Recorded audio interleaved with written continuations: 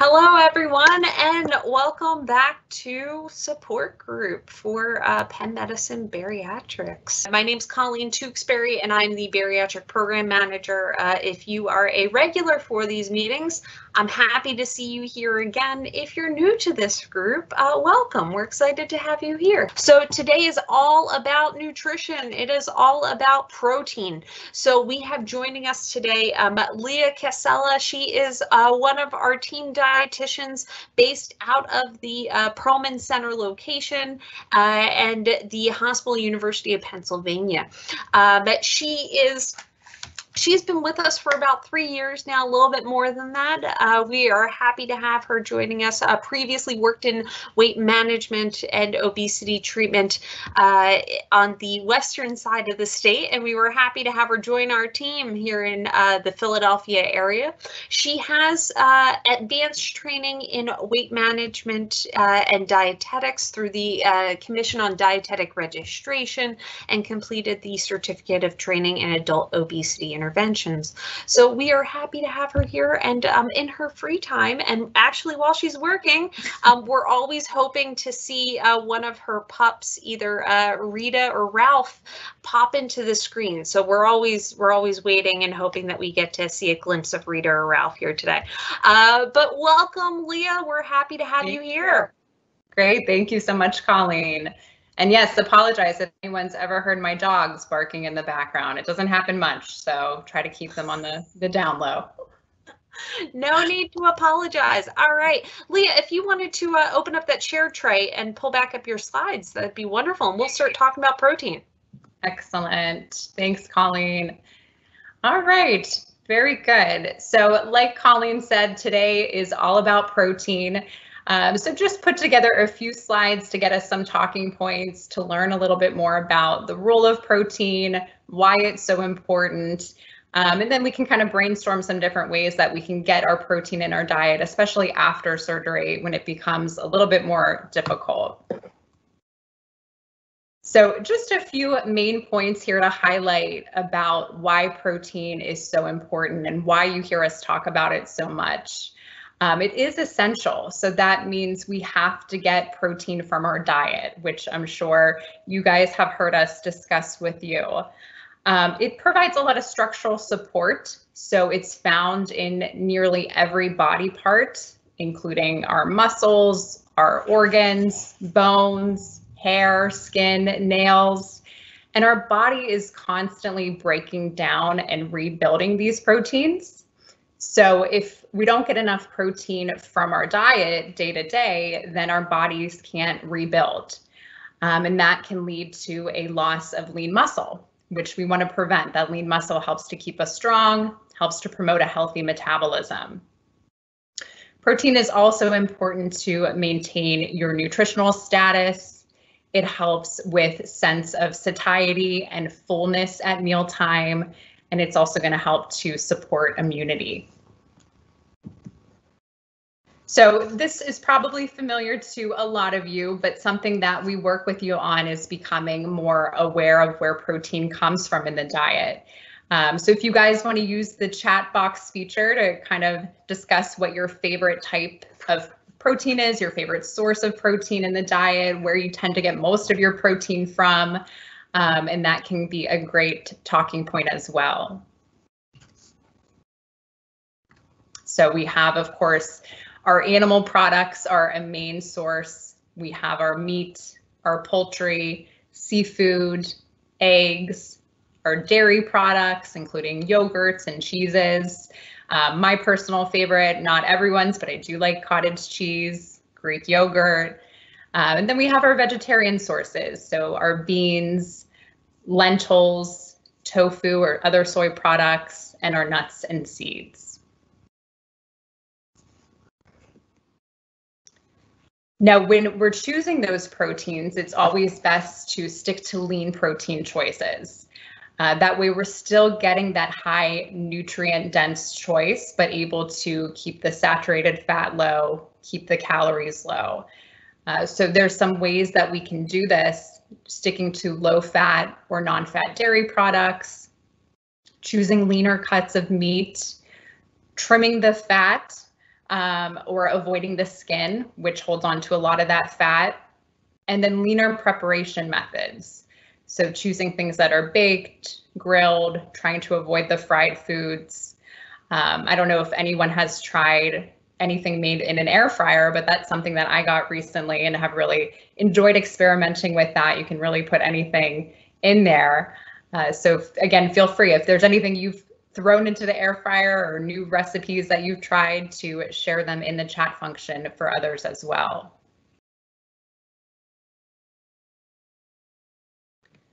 So how much protein do we need? Uh, this is something that we also kind of drill into your heads, especially in that pre-op period to get that 60 to 80 grams of protein a day.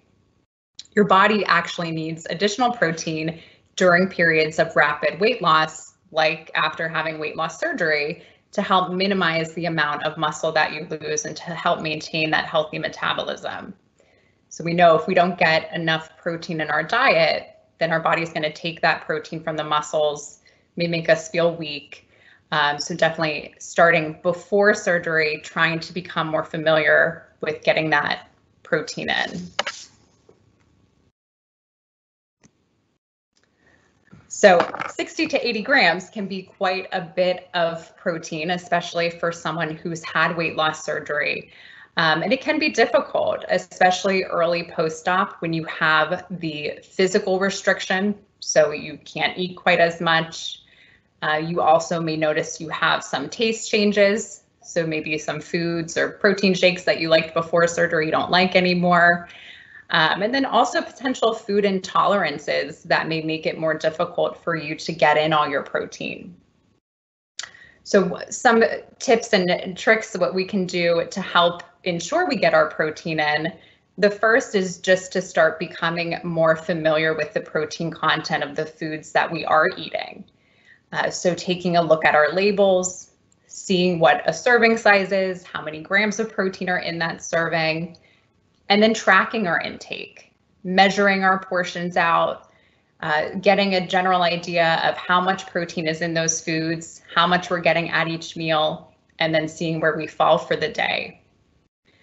It also can be helpful as you're meal planning, as you're plating your meal, to kind of take a, a deep breath and just ask yourself, okay, where's the protein coming from? Um, and making sure that that is the priority on the plate. So before anything else, we always want to prioritize that protein.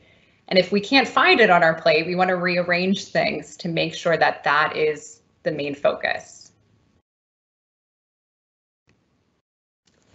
So moving on to protein shakes, and as we're talking about this, um, I know everyone has different personal favorites. So again, feel free, please use the chat function, kind of share your favorite protein powders or protein shakes, ready-made shakes, um, because protein shakes are going to be something that is a necessity early post-op.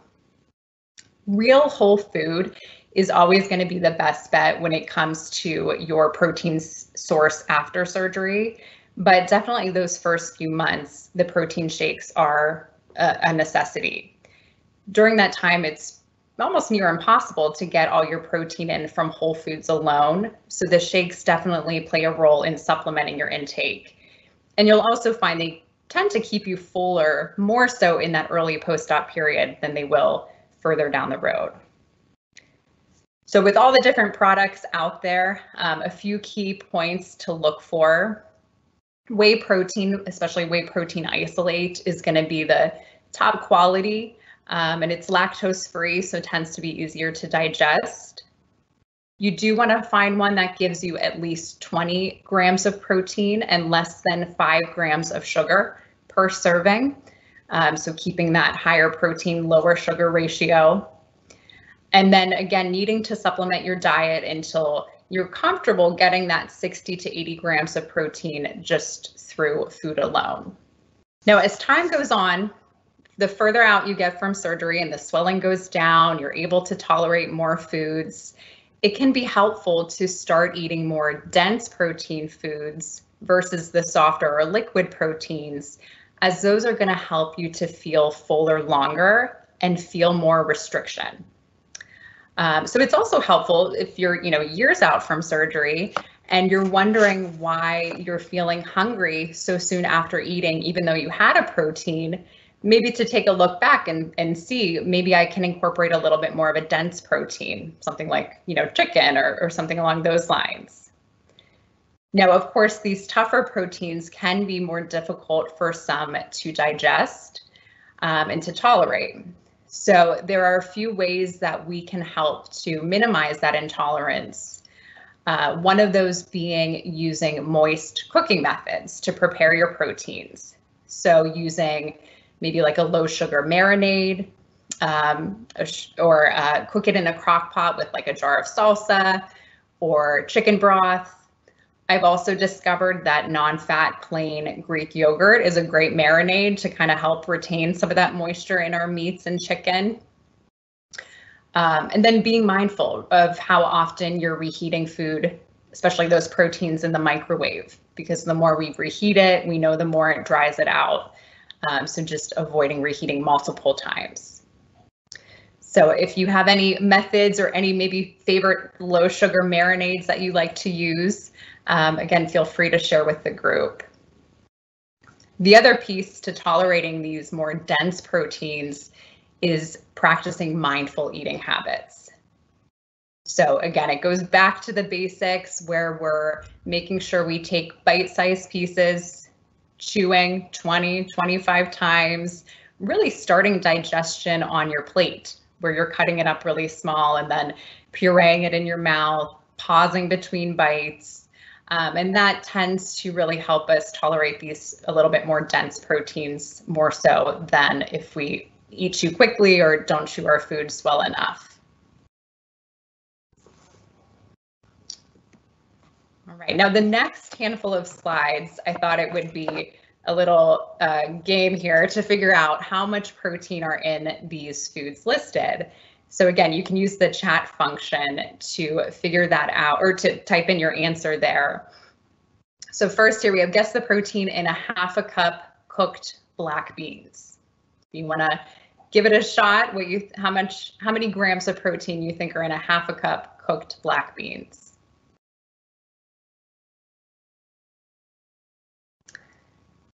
All right, so for that, in a half a cup cooked beans, it's roughly about eight grams, eight grams of protein.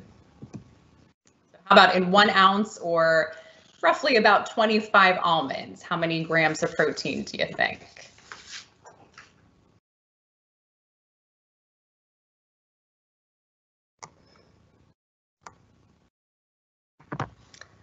So we know in about one ounce of almonds, we're going to get roughly six grams of protein. Okay. All right, and then we have the two ounce of shrimp, which is about seven shrimp cooked. So how many grams of protein you think in that?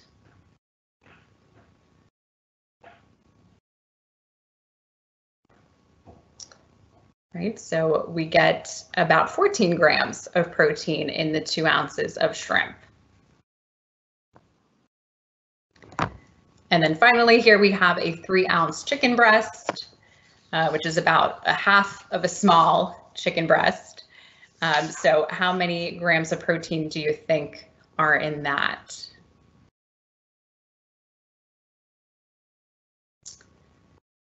So that's going to vary, but probably around 21, 24 grams of protein um, in that chicken breast. A good kind of general rule of thumb for animal proteins like chicken or fish is one ounce is roughly seven grams of protein. Um, so that's a kind of a good number to keep in mind. One ounce, roughly seven grams. All right. So with that said, what does 60 to 80 grams of protein a day actually look like if we were to put together these meals? Um, so these next slides here are actually taken off of this Instagram, bariatric.meal.prep. Um, so she is a bariatric dietitian who has an Instagram page. Uh, so that's where I pulled these resources for, but I thought it was a great visual to really get an idea of how much food we'd have to eat to get this 70, 60 to 80 grams of protein. So we can see here for this day to kind of give you an idea of what these items are. Um, at breakfast, that's a Greek yogurt, which gets you the 12 grams of protein. For lunch, we have three ounce meatballs, a quarter cup of beans, a Greek yogurt dressing over about a half cup of lettuce. For a snack, that's about a half cup of cottage cheese. And then for dinner, they have kind of a deconstructed chicken fajita bowl. So that's about three ounce chicken, a quarter cup of refried beans, and a third of a cup of peppers. So you can see they spread their protein evenly throughout the day between meals and snacks um, and total about 70 grams protein. So they were able to get that in even without the help of a protein shake. Now a little bit different, so 68 grams of protein. Um, this shows us what a day would look like if we fall a little bit short at our meals and then need that protein shake to help get you up to that 60 to 80. So for breakfast, they have the high protein pancakes here, something like a Kodiak cakes or um, adding protein powder to a pancake mix for about nine grams. Lunch, they have the two hard boiled eggs, a third of a cup snap peas, and a small orange. Uh, the first snack of the day was a quarter cup of hummus with some carrots. Second snack of the day would be that protein shake for 30 grams of protein right there. And then at dinner, they have a chicken sausage, a quarter cup sweet potato, and a third of a cup pepper and onions. Can't I just take a pill?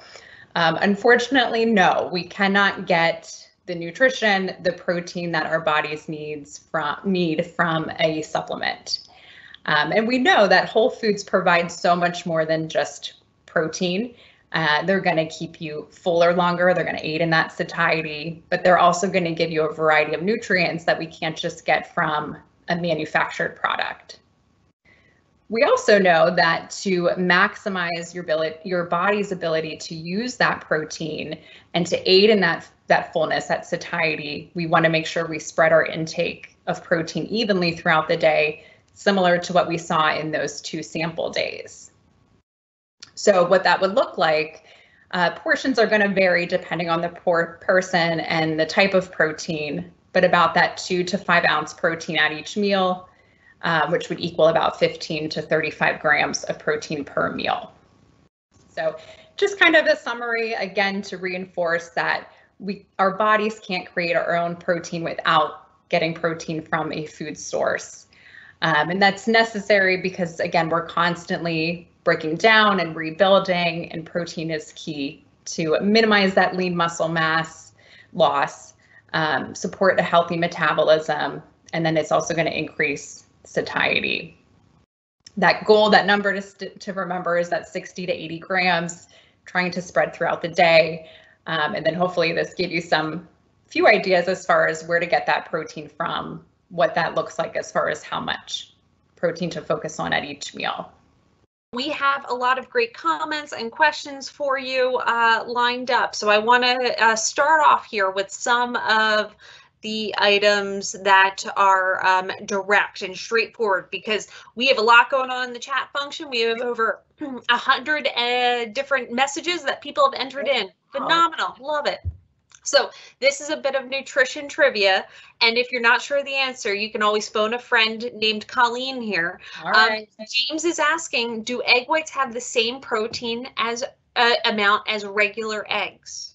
Good question, James. Yeah, so I don't know the specifics, but I believe an egg white might have like four grams of protein, if I'm not mistaken, whereas a whole egg, depending on the size, might be like six to eight grams. Do you know yes. this?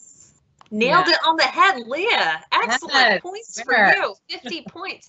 Um, so uh, what's interesting to note is that the yolk, although lower in protein, it's more protein dense So the the amount of space or volume that you get, you actually have more protein in compared to the white. However, you also have that cholesterol with it. So uh, you are right, though. There's more protein in the whites in and of themselves. Excellent. All right, so we have a lot of questions in here around um, plant-based proteins. So mm -hmm. so a lot going on here. So I'm going to pose a few different questions for you that are all in the same theme here.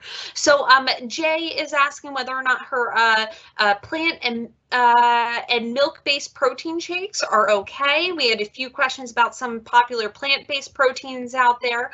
Um, Tina's asking what are some of the protein options for vegans, um, and we have a few other questions around uh, what are some of the different plant-based proteins that are out there.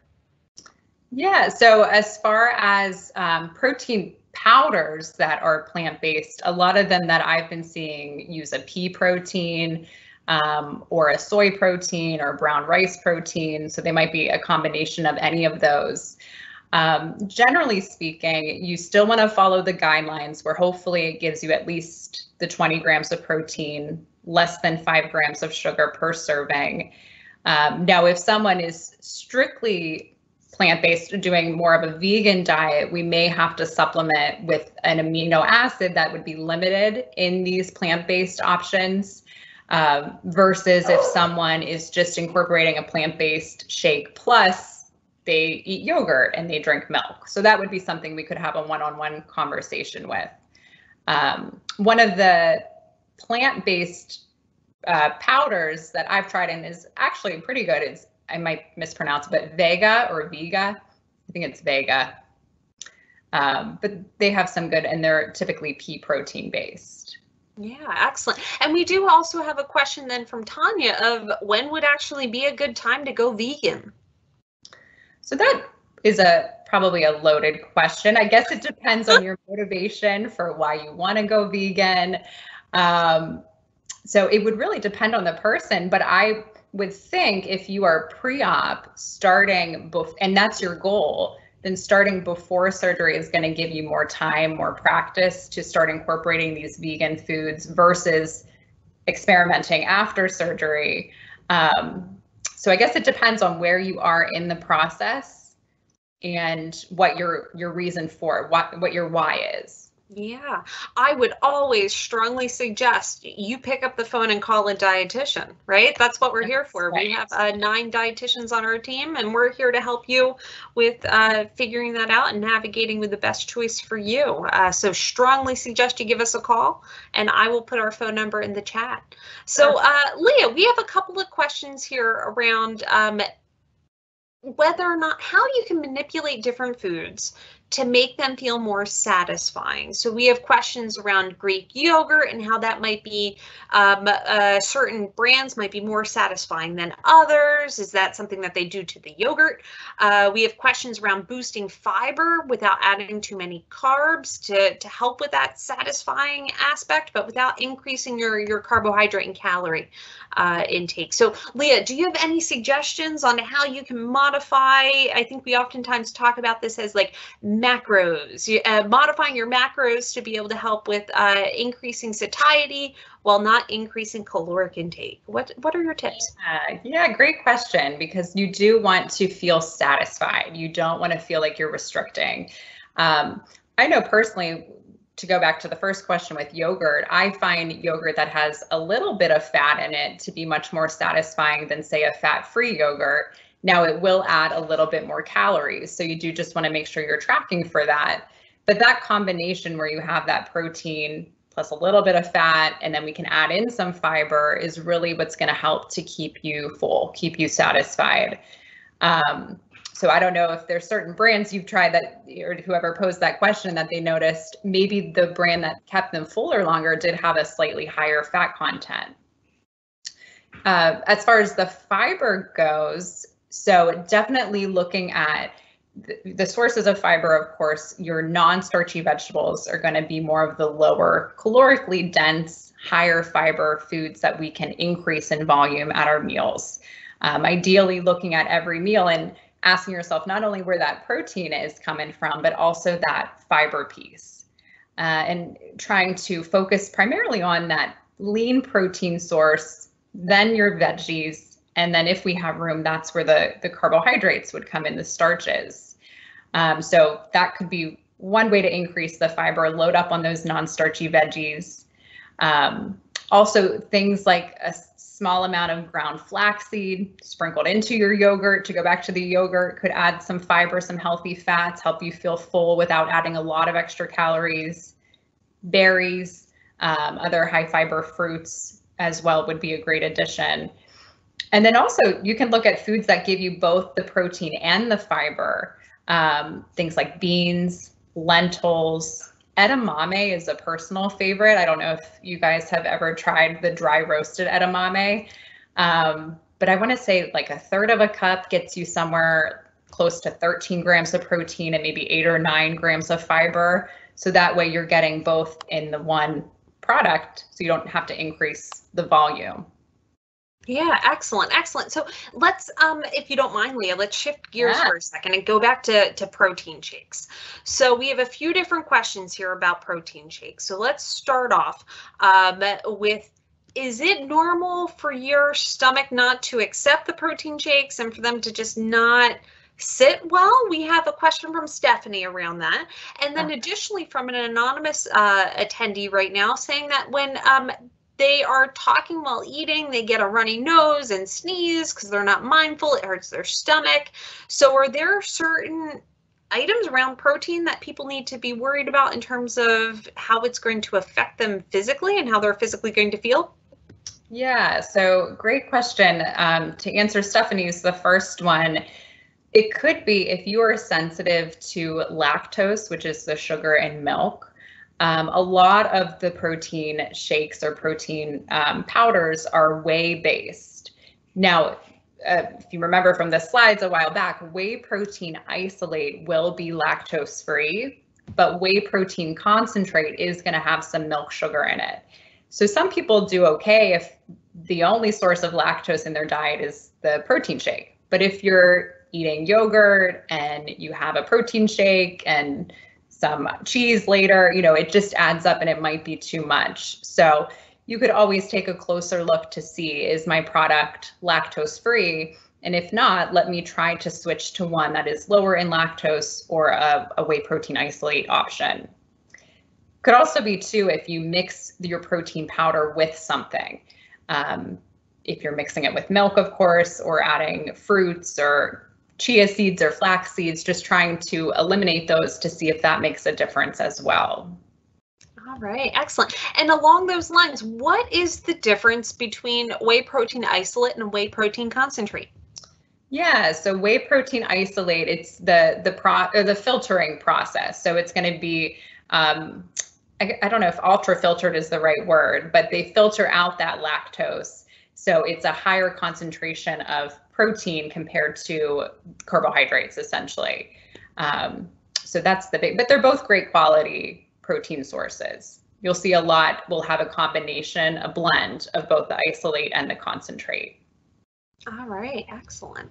And uh, let's keep going down those lines of protein. So any upside or downside to having more than 80 grams of protein in a day? And this question, um, they're, they're both for uh, from anonymous individuals.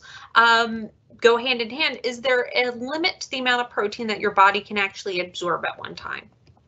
Yeah, so to address the first question, um, some people do need more than 80 grams of protein. So that would be something, you know, we would one-on-one with your dietitian, we would discuss based on your gender, your height, your weight, your activity level.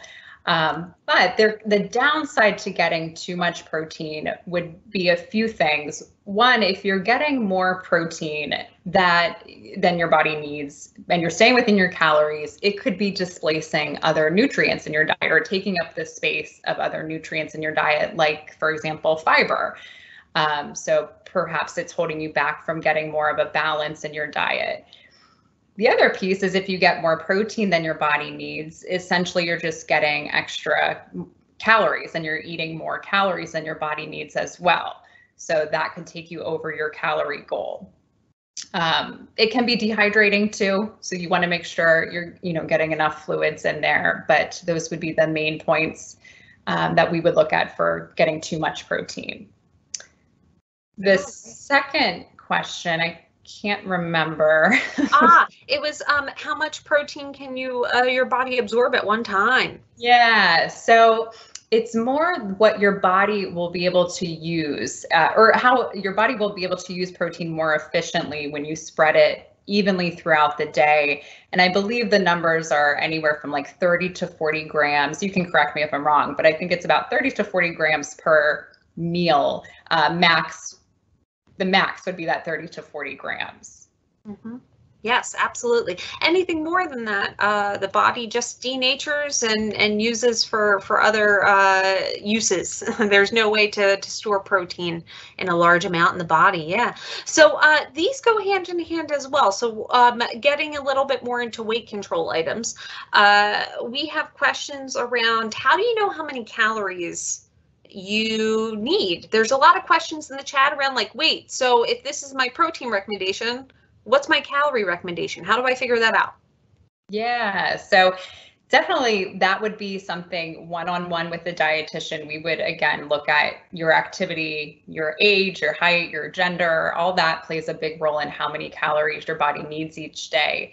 Um, for anyone though, a great starting point is just to start tracking your calories because then we can get a general idea of how many calories your body is currently taking in and we can look at trends. If you're maintaining on that current level, then we know, all right, if the goal is weight loss, we can start to reduce. If the goal is weight gain, we can start to increase.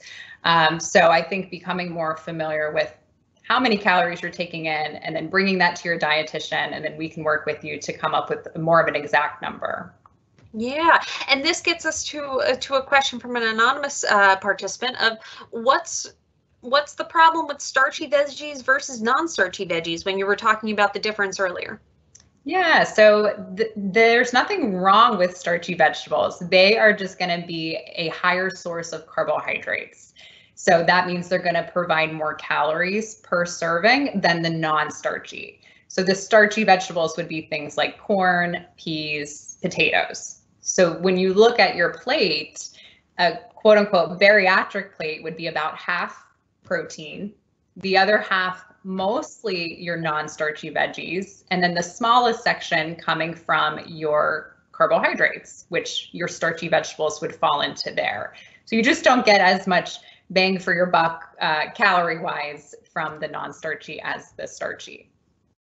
Yeah, and um, this is a question from Jake here, and I, I can speak to this a little bit. So for the total daily energy expenditure expenditure calculators that are available, are they accurate?